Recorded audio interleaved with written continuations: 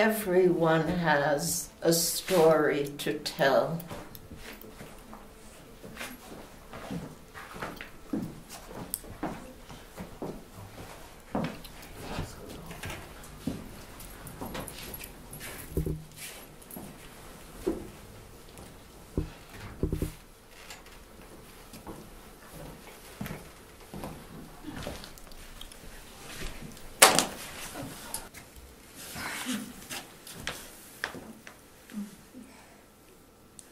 Thank you, sir. You're very welcome. And uh, my name is Sam, not Sir. You're kind. Actually, I'm Sam. well, uh, stro- strolling to work? Yes. Yes, on this beautiful day I am. And you? Oh, well, actually, I- I was just craving some fresh air. I, you see, I'd been sick for quite some time, and uh, I thought the cool air would do me some good. I'm, I'm. I'm so sorry to hear that. Um, you're all right now, though. I hope. Oh, why, yes. Thank you for your concern. Very good. Well, I guess there is nothing more for me to do than to stay right here and make sure you don't drop anything else. I, I, I like that.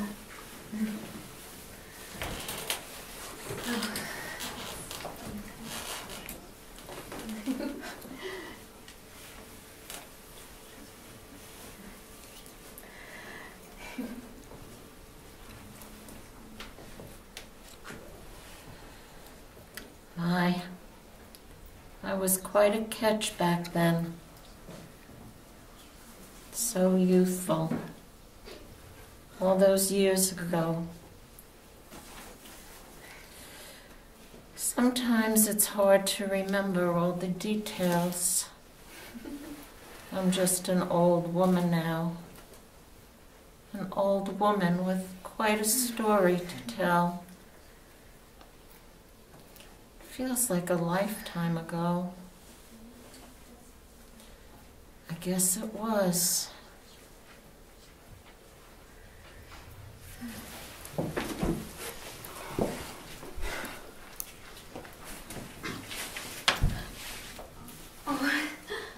Will you? You know what I'm asking you, Mary. Don't you? Don't you? From the moment I laid eyes on you, in this very spot, on this very day, two years ago, I knew. I ask you sincerely, with my whole heart, will you marry me? Oh, Sam, I... Yes.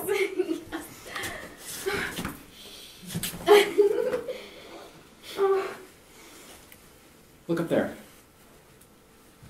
All those lights are burning bright for us tonight, kid.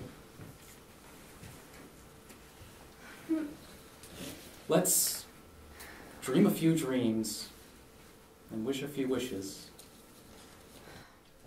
Shall we? I wish for it to be just like this. Forever.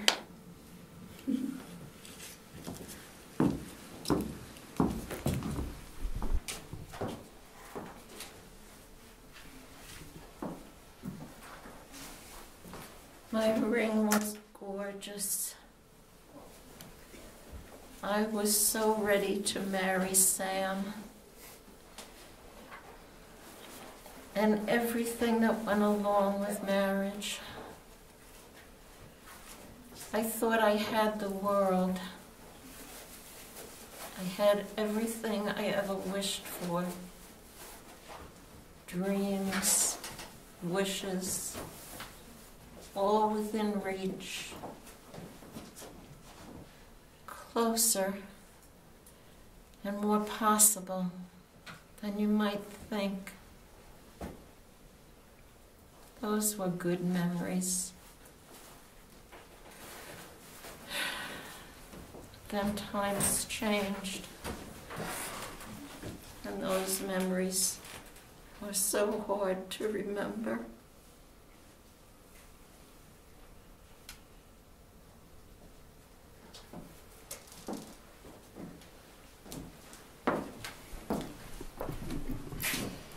I wanted to take this walk one last time before the baby comes and smell the grass and see the view and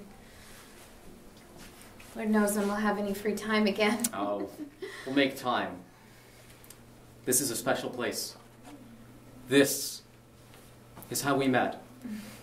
And before you know it, he is going to tell all his friends the way his parents met. He? Who makes you think it'll be a he? Just a hunch. We'll see about that hunch, won't we? It's only a few more weeks to go. I can't wait. Me either. Sam, all my my dreams and wishes they're coming true and it's almost too good to be true. I, re- I really don't know what to say. No, Mary, don't worry your pretty little head off. It's it's just your nerves. That's all. Nothing is going to happen. But the doctor said because of my previous illness, I could be prone to complications and I... Don't. You're just going to worry yourself for nothing. Everything is fine, I am telling you. It will always be just like this. Forever. So, just enjoy the view. I was right.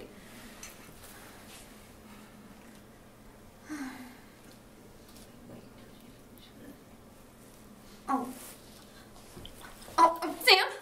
Ah, Mary? ah, Mary? oh, what- Sam, what is it? ah, I, I think my water just broke. Oh my god.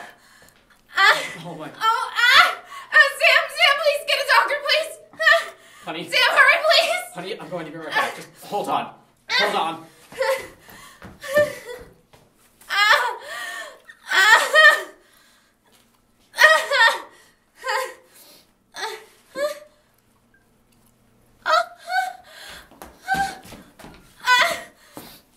Ah! Oh, doctor! Doctor, it hurts so much! Is it supposed to hurt this bad? Oh, please make it stop! Oh, please! Ah, Please make it stop!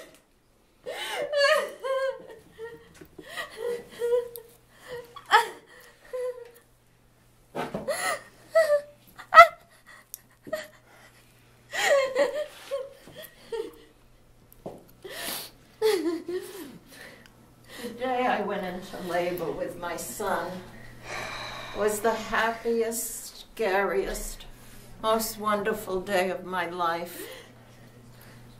The contractions came hard and fast. It was very obvious that something was wrong. My baby's heart rate dropped and he wasn't coming out. He was a breech baby, the doctor said, and that he'd do anything he could to save him.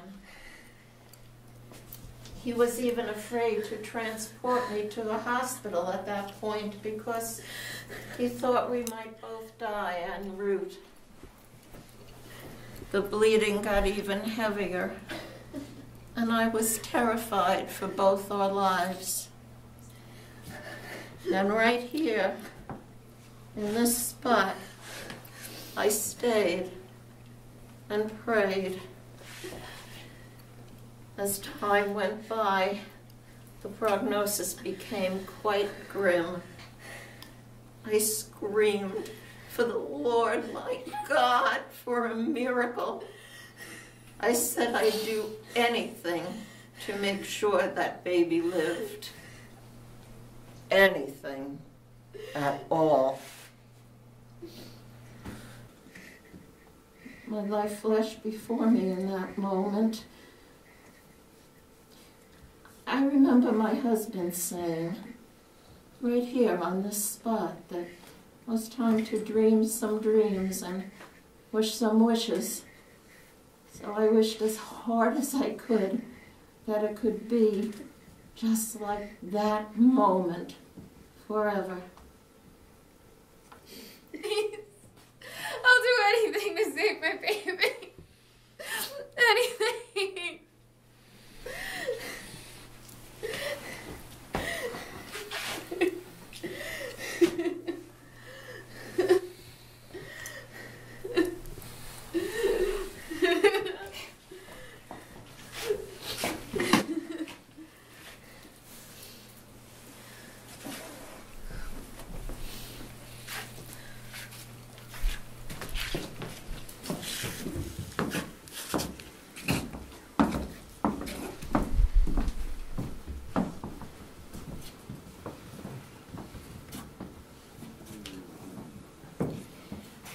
until my baby boy was born and lived.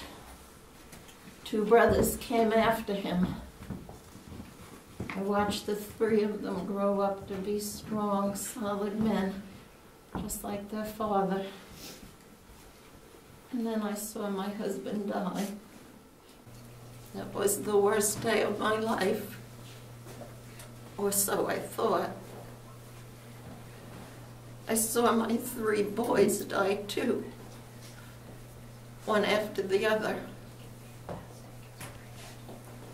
And then eventually I saw my eight grandchildren die also. Five girls and three boys. All of them, one more beautiful than the other.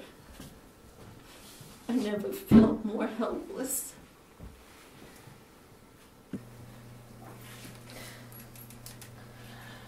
You see, I'm 178 years old. I made a deal with the devil the day I asked him to spare my son. And now, I'm destined to live this moment forever and always, just like I begged. I was desperate. I can't say even now that I regret it. My boys were good boys. They made a difference in this crazy world. My whole family was well liked and well respected in the community. Every year I make the trip back here trying to find some peace. And all I find is a big empty park bench where I met my husband. So much has changed over the years, yet so much remains the same. I've witnessed many different presidents elected into office, seen fierce wars between countries, both won and lost electronic inventions I can't begin to understand. Babies being born, people dying. Everyone dies, except me. When I hear someone say, it's a beautiful day out there, it makes me cry. Be careful what you wish for, folks. You just might get it.